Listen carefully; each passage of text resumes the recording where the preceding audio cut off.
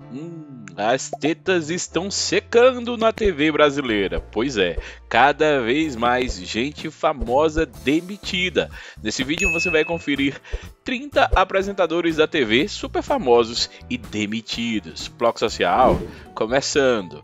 Vamos começar pelo Arnaldo Duran, jornalista que passou pelo SBT, pela Globo e foi demitido da Record depois que doou um milhão para a Igreja Universal. Ele ainda foi demitido com uma doença rara e causou revolta entre muita gente, inclusive quem gosta da Record. Vamos que a gente chega ao Boris Casoy, ele que já foi do SBT, já passou pela Rede TV, estava na CNN Brasil e infelizmente, essa figura, que é um ícone do jornalismo na TV brasileira, isso é uma vergonha, acabou sendo demitido aos 84 anos. Chegamos então a Carla Vilhena, que passou boa parte da vida de jornalista lá na TV Globo. Foi demitida em meados de 2019 e recontratada na CNN Brasil. Tava lá e o público até que gostava, mas teria um alto salário e aí a CNN acabou demitindo. Cecília Flash era um dos rostinhos mais conhecidos da Globo News, pois é, mas segundo o site de fofoca, ela teria falado mal do canal e acabou sendo desligada após mais de 10 anos na Globo News. E aí, falaria mal da empresa que você trabalha, sim ou não?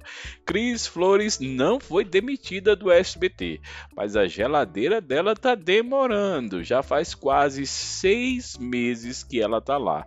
Deixou fofocalizando, ninguém sabe a quantas anda, nem o que falar dela. A gente sente saudade por que não ela apresentando o programa Silvio Santos? Chegamos a Cristina Rocha, que é apresentadora do Casos de Família. Já faz mais de um ano que o programa está fora do ar. O SBT diz que vai voltar, a gente está esperando. Tem gente que diz que a Márcia Fu vai voltar no lugar dela. Será? Cristina diz que não foi demitida e a gente fica feliz. Chegamos a Cris Dias, ela que foi apresentadora do Globo Esporte, do Esporte Espetacular, passou muito tempo lá na TV Globo, até que migrou para a CNN Brasil desde a inauguração. Foi demitida, foi para a Band e lá na Band, no canal do Crack Neto, também acabou desligada. Já o Daniel Adjunto começou lá no Rio Grande do Sul, chegou ao SBT, fez muito sucesso, deixou o canal de Silvio Santos e foi para a CNN Brasil.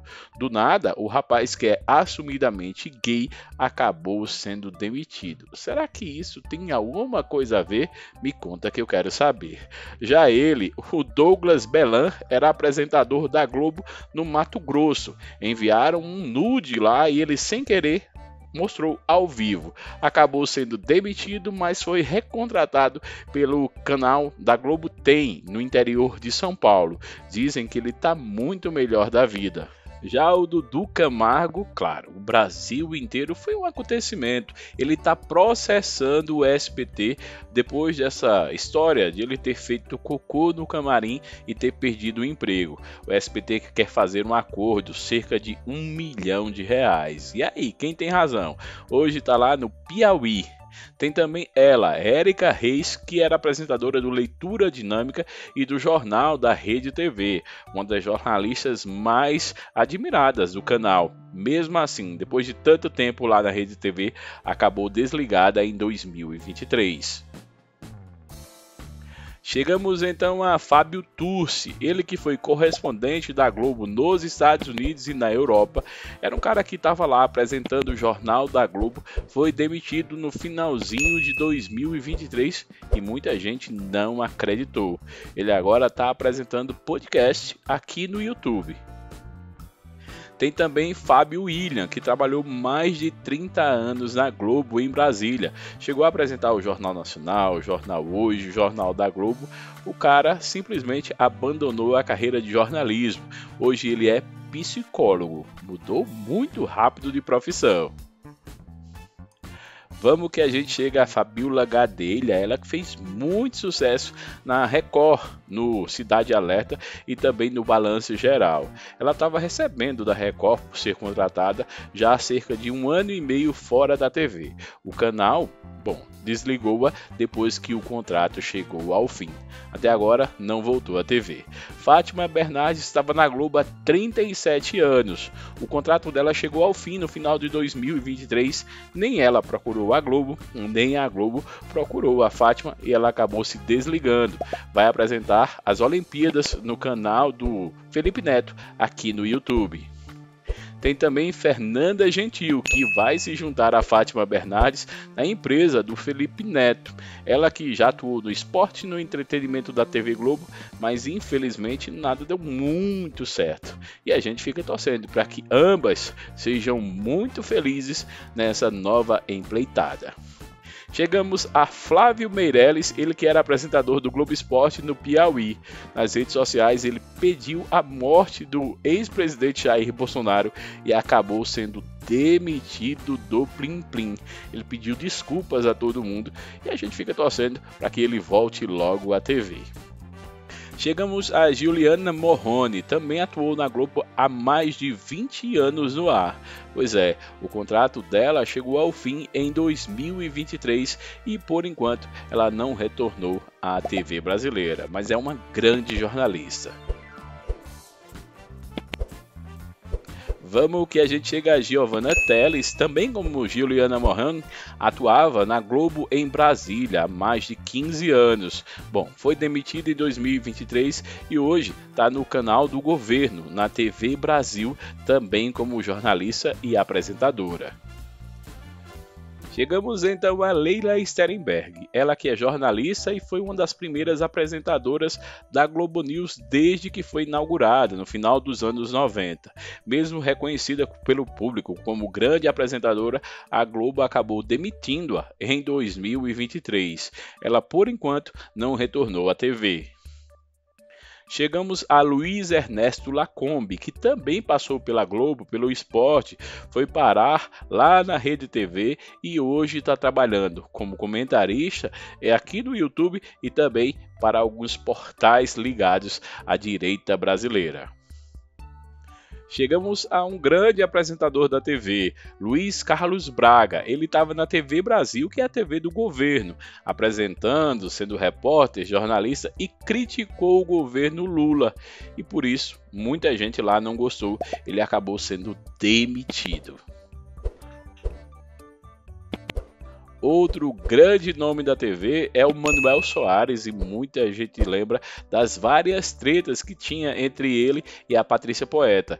Ele foi demitido em 2023 da Globo por ter infringido um código de ética da empresa e ter discutido aparentemente com alguém dos bastidores do Plim Plim.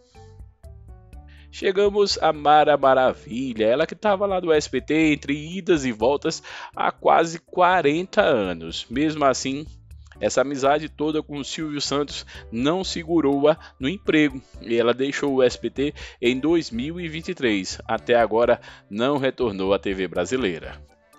Já Marcela Raal foi uma das primeiras apresentadoras da CNN Brasil, mas segundo sites de fofoca, ela tinha um dos melhores salários da TV. E aí a CNN enxugando tudo. Depois que o governo Bolsonaro acabou, ela acabou também sendo demitida. Chegamos a Márcia Victizak, ela que foi jornalista, comentarista e de vez em quando aparecia nas telas da Globo, principalmente na política em Brasília. Estava no Plim Plim há mais de 20 anos, mesmo assim acabou sendo demitida. Já o Márcio Garcia continua contratado da Globo. Ele está quase implorando para ir apresentar um programa lá na Record, mas a Globo não deixa. O contrato não chegou ao fim, então a Globo nem pensa em demiti-lo. Paga e ele continua em casa ou cuidando da vida. Na TV, por enquanto, não. Milena Ciribelli tinha deixado a Globo há 17 anos atrás e estava no esporte lá da Record, do canal do Bispo. Justamente no ano em que a Record está investindo em esporte. Nos campeonatos estaduais, Milena acabou deixando o canal. Pode ou não pode? Chegamos a Nádia Haddad, ela que é apresentadora e atuou muito tempo na Band, foi para o SBT apresentar o Bake Off Brasil. Nessas novas mudanças do SBT, vários novos programas, ela não ganhou nenhum para chamar de seu. Pode aparecer no canal do Silvio Santos, mas não como apresentadora do seu próprio programa. Natália Ariede era apresentadora substituta do Bom Dia Brasil, do SP1, SP2 na Globo em São Paulo. A moça preferiu se desligar da TV e está cuidando mais da vida pessoal, da família, dos negócios da própria família. A TV, acho que ela não volta mais. Chegamos a Oliveira Andrade, ele que foi contratado pela Record no final de 2023 e chegou a apresentar jogos do Campeonato Paulista em 2024. Mesmo assim, no meio do campeonato, ele acabou sendo demitido do canal do Bispo. Vamos que nossa lista segue e a gente chega ao Taviano Costa, ele que teve algumas oportunidades no SBT depois que deixou a Globo, mas nada deu certo. Há quem diga que nunca viu ele apresentando o Cozinhe Se Puder, o reality show lá do SBT. Você viu, não viu? Bom, esse programa saiu do ar em bem pouco tempo. O Otaviano, só na internet. O Siqueira Júnior, bom, muita gente sabe que ele foi demitido da Rede TV ele continua apresentando o novo alerta nacional, o novo alerta lá para o Amazonas e não mais em rede nacional. Será que ele volta na Jovem Pan em algum outro canal? Sim ou não? Tiago Pavinato era apresentador da Jovem Pan, da TV Jovem Pan. Mas apesar da audiência super em baixa da Jovem Pan, ele acabou sendo demitido porque teve um desencontro com um desembargador em São Paulo e a Jovem Pan não gostou. Chegamos a alguém que é muito grande na TV do Rio de Janeiro, Wagner Montes Filho, filho do apresentador falecido Wagner Montes. Ele estava no balanço geral desde que o pai faleceu. Mesmo assim, mesmo com muita fama, acabou sendo desligado do canal do Bispo da Record no Rio. E aí, quem você contrataria se fosse dono de um canal de TV? Me conta que eu quero saber, diz de onde você fala, se inscreve no canal, aperta no sininho, Bloco Social.